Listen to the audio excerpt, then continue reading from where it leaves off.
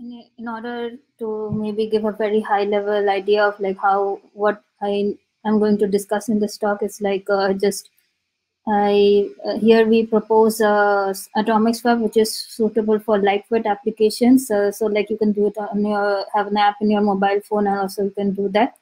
And also like uh, the talk in which uh, Elizabeth uh, discussed this Ethereum versus Monero. So he there this uh, the guy who is locking Ethereum has to move first. So this could was a possibility of uh, griefing attack on Ethereum because till the timeout is over, one cannot unlock the Ethereum. So it's the same here. So if the guy who moves first locks the Bitcoin, so if, if the other party is not locking Monero, then the Bitcoin cannot be unlocked after this given timeout.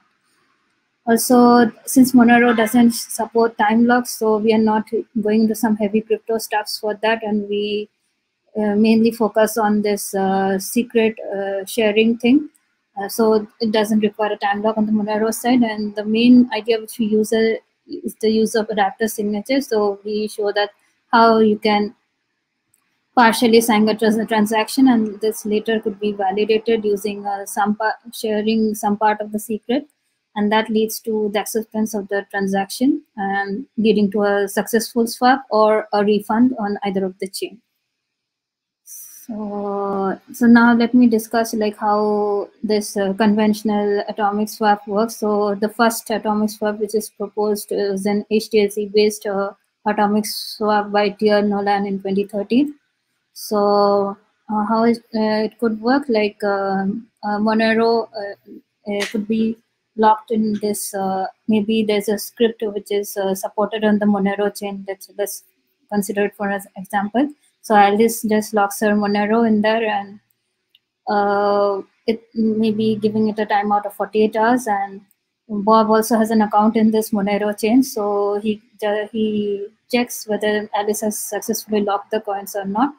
And also he checks that uh, he needs to give a pre-image for a particular hash and uh, so he uses this hash again in his uh, bitcoin blockchain.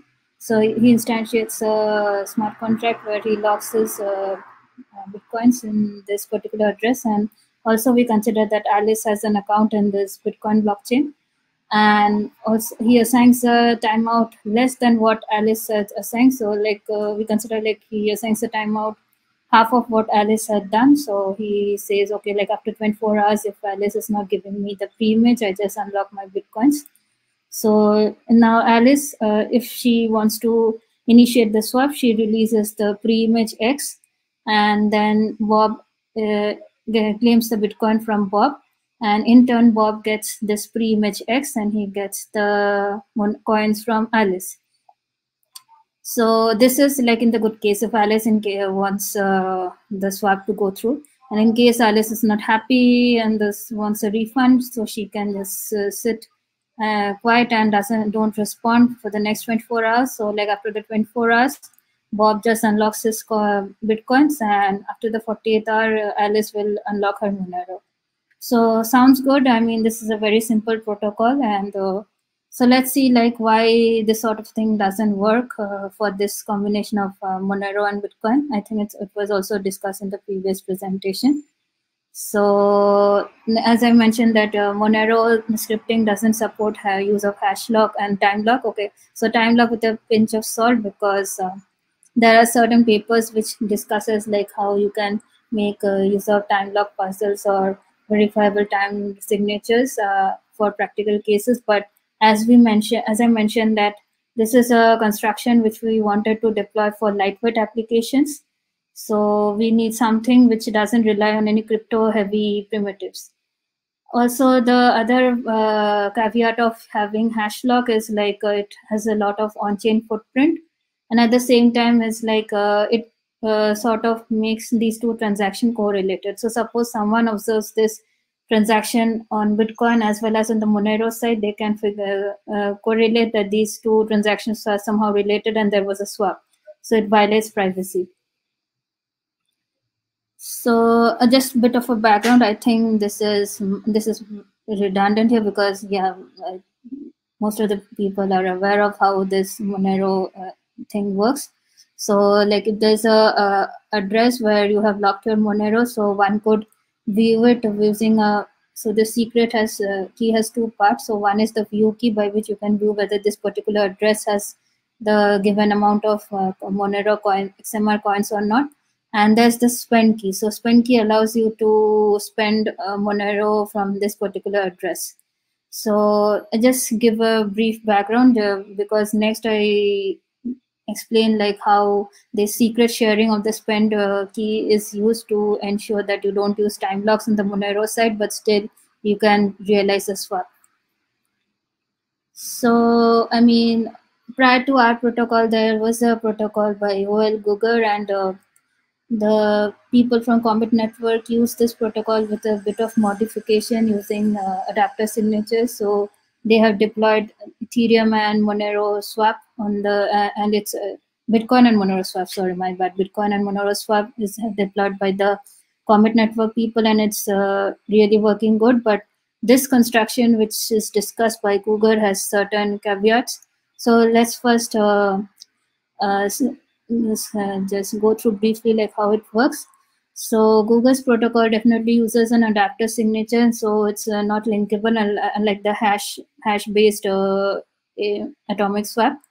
And also previously I mentioned that it uh, uh, relies on this two out of two secret sharing of the Monero private spend key. So in case Alice and Bob they want to undergo a swap, uh, so what what they do is like Alice is going to lock her Monero in an address where the private send, uh, spend key is like uh, one half of the secret is with Alice and the other half is, is with Bob. So in case after Alice locks her coin, she is she cannot spend it directly without Bob's cooperation.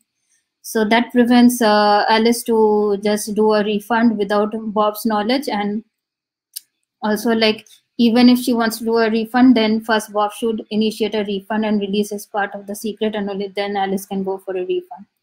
And also, this is a really good thing because Monero doesn't need a time lock, and only Bitcoin side there is a time lock, and also the transactions in Monero are fungible because no one can differentiate whether this is a swap transaction or a normal Monero transaction. So next, let me explain like this adapter signature. So I mean, the idea is very simple. Like you have a normal signature as we do using say ECDSA or Schnorr, but what we do here is like condition the signature on a particular statement, which is uh, NP hard, and that is uh, given the statement you do not know what's the witness, and it's really hard to extract the witness from the statement. So here, what I do is like a user statement Y, so you can consider that uh, uh, if you have to figure out the witness of Y you mean I need to break the discrete log. So it's same as breaking discrete log hardness. So once you pre-sign this transaction, so in order to make this transaction uh, signature complete, you need to know the witness of the statement Y, and only then the signature would be valid on this particular transaction. So this is a adapter signature on a very high level and we make use of this primitive in our construction. So also there are other parts uh, to it. So now we see that Monero and Bitcoin are both are on different elliptic curves. So like even though they make use of the same secret on both these curves, uh, one has like either Alice or Bob, they need to provide a proof that okay, this uh, particular discrete log it's equal across the different groups. So you use a proof of knowledge uh, so to show that indeed the decommitment of these two statements would be the same. And uh, so as I explain uh, it through a diagram, it would be clear like where we would be needing these proofs and where how the secrets are released. So uh, just let me discuss on a very high level how uh, this Gugger's protocol works. So I think this is a bit of a problem because I think the animations don't appear here because I've uploaded the slide, but never mind. So uh, here what happens is like once uh, Bob is the, uh, Bob has to lock his Monero and uh, uh, like Bob uh, wants Monero in exchange of Alice's Bitcoins. So what Al, what Bob will do is like lock his Monero and then lock the bitcoins and in the next step so as i mentioned that Alice uh, has to lock the Monero in an address where the secrets are shared. So, like one half of the secret SA is with Alice, and the other half of the secret SB is with Bob. So, what they can do is like uh, now Bob also locks his Bitcoin. So, as you can see, the transaction on the upper side. So, this could uh, Bob could uh, Bob now mentions the script like it has the two way of spending this Bitcoin. So, one is the redeem and one is the cancel. So redeem part is like uh, when Alice wants to redeem the Bitcoin, she will release her part of the secret SA.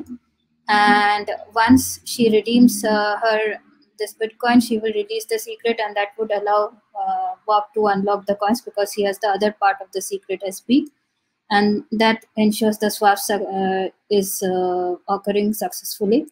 In the and in the bad case, what can happen is like uh, Alice don't redeem this uh, bitcoins then what she can do is uh, like what bob will do is like bob will initiate this cancel transaction after this timeout is over. And then he would go for a refund publishing his part of the secret. So i think this is similar to what the previous protocol yesterday was discussed. So he releases his part of the secret and uh, bob gets back his bitcoins and alice using this uh, secret sb gets back her uh, monero which is locked in this two out of two secret shared address and in the bad case what uh, in the other case what can happen is like uh, bob is not responding. So he is uh, does he doesn't even uh, publish this tx cancel. So what uh, alice can do is alice could go for a redeem.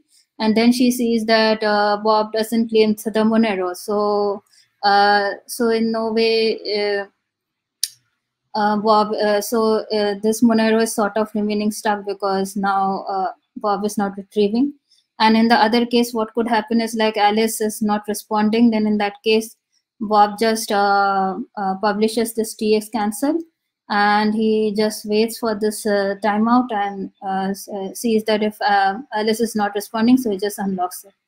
So in some way or the other like in some of the cases alice is dependent on bob for the secret sb or vice versa like bob is dependent on alice for the secret sa so this dependency sort of violates this like uh, safety property that anyone who is uh, locking the coins can unlock after a certain timeout period because uh, on the on Bob's side there's this time lock which allows him to withdraw the Bitcoin after a certain timeout. But on Alice's side, she is dependent on Bob for the other part of the secret. So in case Bob is suffering a crash fault, Alice is doomed because she cannot retrieve her part of Monero. So that's the bad part of this construction and also the other caveat of this construction is like bob has to move first locking his bitcoins. So there could be this uh, denial of service attack where alice doesn't lock her monero. In that case bob's uh, bitcoin might be locked for the next 24 hours. So there's an opportunity cost uh, attached to this bitcoins which is not utilized for the next 24 hours so here I just uh, re reiterate the drawbacks which I mentioned before. So in the case of Bob is uh, the service provider, it's really bad because he's keeping his Monero uh, Bitcoin locked for a long, very long duration. And also this dependency for a refund is uh, not good in terms of safety. So let us uh, check like what our protocol does. It's uh, improves on Gugger's protocol. So here Alice, the one who is locking Monero, she needs to move first so and we allow her to refund anytime she wants instead of depending on uh, Bob for the refund. And also, like once Bob observes that Alice has locked her coins, so he will lock his coins so he's not vulnerable to griefing attack. So redeem on the Bitcoin side has option of claim and emergency refund, so similar to what the Gugger's protocol does. But uh, here the thing is that if uh, Alice has a liberty to refund her Monero anytime, so this could be a problem. Like once Alice has initiated a redeem, she could uh, also publish a refund. But the thing is that the very moment she is allowed to redeem the Bitcoin, she cannot spend it. So there is a time lock involved. So within this time lock, if Bob sees that Alice has refunded her Monero, then that would lead Alice to reveal a secret. So that's why we need this adapter signature on uh, ring signature. So that releases a secret and that would allow Bob to uh, uh immediately unlock the bitcoins by punishing this emergen- by publishing the emergency refund and, and then Alice cannot claim the bitcoins. So this is what I have explained in this figure is like uh, uh, how this transaction goes through. Like, for, so first Alice is locking her Monero and with the view keys, Bob observes whether the Monero is locked and then Bob is locking the Bitcoins. And here there are two ways of uh, canceling or redeeming. So in the redeem phase, now th this is reverse from what Gugger did. So now the cancel could be done instantly, like after this timeout. But in the redeem phase, that's what I mentioned, like uh, either uh, a secret is published when uh, Alice publishes this redeem transaction, and that allows Bob to redeem Monero at the more from the Monero chain. But in case what Alice does is like Alice first uh, publishes her refund transaction, then she will release a secret that is uh, witness to this uh, statement RA. And uh, or if, if in the, at the same time she tries to publish this redeem transaction, then she cannot redeem the Bitcoin in, uh, instantly because she has to wait this uh, relative time lock T2. And after, in between, like if Bob is Bob sees that uh, this Monero has been refunded, so he publishes this witness to the statement RA and claims the uh, bitcoins. So this is how the safety of the safety as well as liveness as well as atomicity of these transactions are maintained. So I think this is, uh, since the animations are not coming out properly, I think this would be a mess to explain, but I think this is a superimposition of the bad case and the good case, but I have explained it because uh, it's a super easy to uh, follow as uh, there's no dependency on the secret because now Alice can refund anytime she wants because this is a pre-signed ring transaction and she ring signature and she only she knows the secret. And on the other side bitcoin has a time lock so bob can refund it anytime.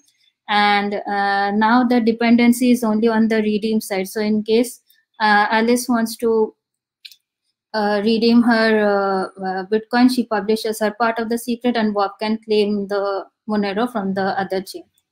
So I'm not, uh, so details you can find in the paper, which is there on ePrint. And just let me give a highlight like this construction in its current form is not possible because the key offset uh, is not available for generating a signature hash in Monero. So this pre-signing of uh, transactions in Monero is not possible now. And it is still a work in progress by the COMIT network people because this would enable a layer two protocols to be realized in the Monero network.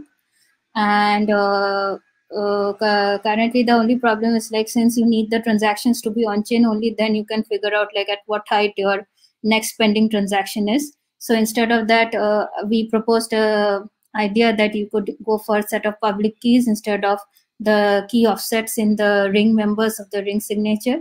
So that would require you to change the Monero's code base. So that's why we don't have a implementation which would which would allow you to uh, some overview regarding the time and the transaction size. So this change of Monero code base is badly needed for realizing the layer two protocols.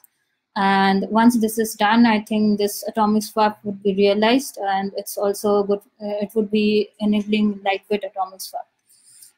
And I just skim, uh, skim through quickly, like uh, all these things work perfectly since we assume that miners are honest. And the next uh, work in progress is like we want to observe how time lock bribing would work, like miners collude with either Alice or Bob, and then Alice uh, either offers a higher fee or Bob offers a higher fee, and they entered a bidding war or something like that. And uh, so, if like Alice has gets the Monero Bitcoin from Bob, and he now my drives the miners that to say that okay, you just uh, fail his uh, redeem transaction and allow me to refund. So this sort of this might lead to a bidding war because now Bob can also offer a higher fee and then try to fail Alice's transaction on the other chain. So there are a few works which discusses this time lock bribing and there's a paper called as MAD HTLC which uh, tries to prevent this uh, cheating in ha hash time lock contracts. Also, there are follow-up works like Helium HTLC and Rapidash which discusses like how you could prevent bribing attacks in atomic swap. But all these primitives work perfectly, assuming that you have this HTLC scripts in both the chain and how you can uh, incentivize miners to comply with the protocol and not collude with either of the party. But it's a tricky thing to realize this thing in Monero, which there, there's no time lock. So this is currently what we are doing. And I think I'm a bit over the time, so let me end my presentation. And also, thanks for that for your time. You can reach out to us, uh, like either Philip, me, Pedro, Sushmita, and also we'll be happy to answer your questions now or also over email, or you can uh, connect to us on Twitter. And yeah, with this, I end my presentation. So thank you.